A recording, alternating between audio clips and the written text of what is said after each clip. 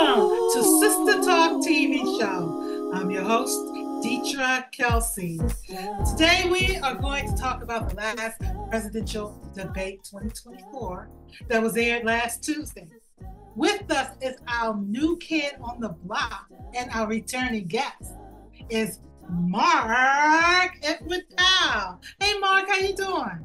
I'm doing very well today. Thank you guys for having me. It is an honor and a privilege to be here with you. And where you straight from out of? Straight out of Las Vegas. Straight out of Las Vegas. Good to have you. Good to see that you decided to come back. You're always welcome here. Also, our returning guests are Dana McBroom. Hey, Dana, how you doing? Hello, hello, hello. I'm Dana McBroom Manno, and I'm happy to be back on Sistah Talk. Um, last week's was discussion was very interesting, informative, and mm. exciting. So we're back. And also our returning guest as well, Star Davis. Hey Star, how's Seattle? I know you were out of New York oh, for a wonderful. While.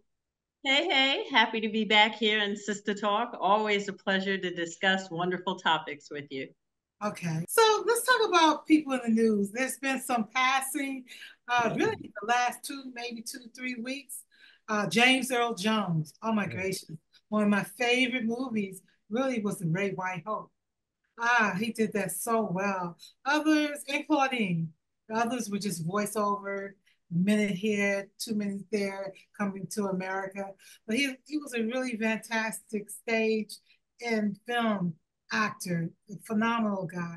Uh, he did his, his, his job and did it well. Frankie Beverly, how, how many remember that? Cookouts, uh, family get together. Yeah. Their songs are just so positive. Frankie Beverly. Mm-hmm. Oh, I let you go. Come on. so you can sing that. I wouldn't dare try, but yes, that is definitely the uh, the barbecue anthem. Yes, and Phil Donahue. We have to, yeah, he was pretty bold in talking about uh, what was going on in the black community, racism, and he even had, had other people host his shows. He was he was doing this um, this talk show for 29 years. He created mm-hmm. the template really for yeah. all the to- talk shows oh, that came yeah. after. Yeah, yep. he, he, was yep. the one who really started the uh, audience participation and so forth. But Oprah almost got there. She went 25. And you know, one thing I have to say about Phil Donahue, excuse me, my uh, my not being a statue. Um, one thing I have to say about Phil Donahue was he was actually threatened for having the Nation of Islam um, wow. his show, and he went ahead and did that anyway several times. Um, he had Khalid Muhammad, he had Louis Farrakhan. And, you know, during that time, we're talking about the 80s and 90s, that was a really, really risky thing for him to do. Um, he had gay, he had um, KKK members, he had, he was really, really, um, he had a really and, wide breadth. and he wore dresses too. I remember him wearing dresses and skirts on the show. That I don't remember, but I I, I remember that. that and, I don't remember that. And I know and I know you're going on with the people, but I uh I I didn't want to break in when you were talking about uh, James Earl, but I have a special connection. First of all, uh, he, his his dad lived in my building where I am wow. now, wow. and um, I he was really the basis for me writing my master's thesis, which was African characters in Shakespearean drama, because oh, wow. he was doing he was doing Othello for the Delacorte for the public theater when I was in high school, and I went to every performance. I oh would get out of school and I would get on the train and get down there. And, you know, sometimes if I had things to do after school, I would find a way, and I saw every single performance. I it, did you see him? I have to ask, did you see him in 86, was it, when he was in Fences on Broadway? Yes, yes. yes. Oh my God. My dad yes, took me to see that. And that was that was definitely life changing. And one of the reasons why I know I wanted to become an actor. Um, but powerful, powerful performance. And to actually be able to see him on stage in person. Um, yeah, he was a master. That would be the the project for which I remember him most. And and the funny thing is, and the funny thing is, is that he had dyslexia. You know, he had a, he had a stuttering problem as well. Yes, he had a stuttering problem, and he was dyslexic, and it was so great because he had a manager that got him got uh, directors or producers to give him scripts like he didn't have to do cold readings because they said he needed to take it home. And my mother used to always laugh about it because she said she would see him at parties and before he took his career took off he would not let anyone out of a party without doing a monologue or doing something. He worked on that stuttering and um, you know, it's just fantastic. He was a, a tremendous, tremendous artist, you know. Mark, you have anything to say? Yeah, uh, uh, for me, um, James Earl Jones uh, will forever uh, be Darth Vader. Um, mm.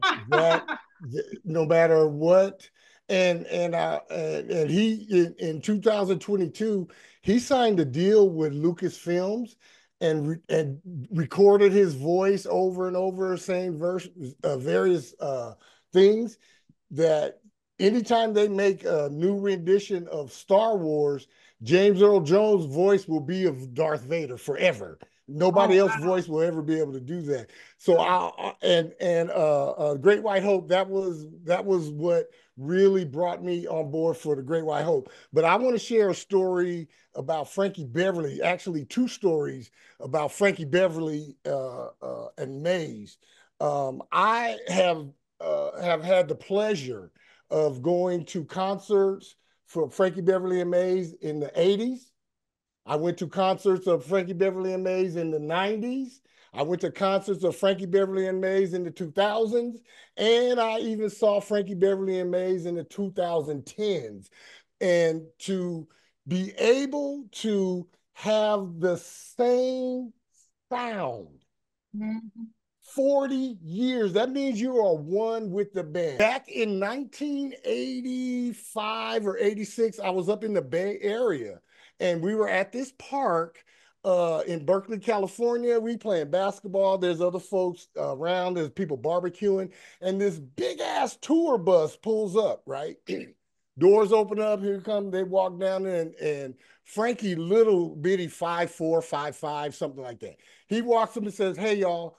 We wasn't able to do our uh, uh, our practice last night at the hotel. The electricity went out. Do y'all mind if we set up our stuff and just jam for y'all? Y'all keep playing ball and all that. Frankie Beverly and Maze did an impromptu concert over two hours, mm, playing uh, all they songs. This was in like '85.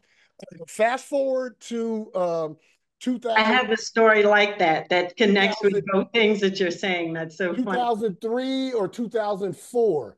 I was in corporate America and I was coming uh, back from uh, Detroit, Calif- uh, Detroit, Michigan to California. And I get on my plane.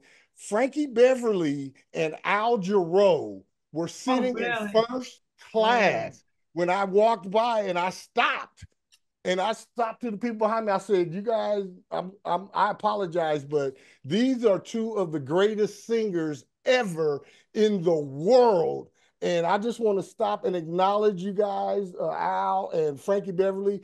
And I was like, "You want an autograph?" I'm like, "No, I don't need any autographs. I got you guys' music in here. I don't need your signature on anything." I have a quick, I have a quick story that I have to tell about Frankie Beverly. So that that uh, reminds me a lot of what Mark was saying. So my mother was also very much into astrology and numerology, and so much so, in fact, that she and my dad had a bar in Harlem called Signs of the Zodiac Lounge.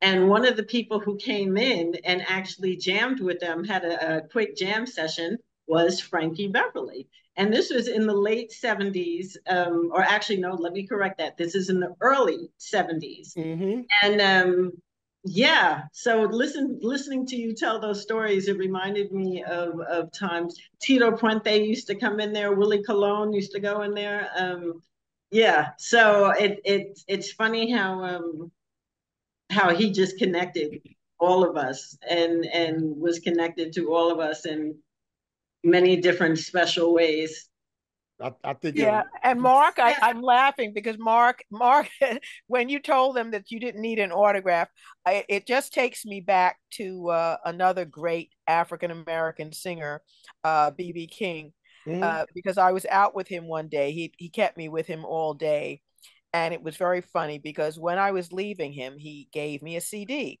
uh-huh. and I was walking out, and he said, uh, come back here, girl. And I was like, what's going on? He said, give me that CD. He says, I'm going to sign it because it'll be worth more when I'm dead. So,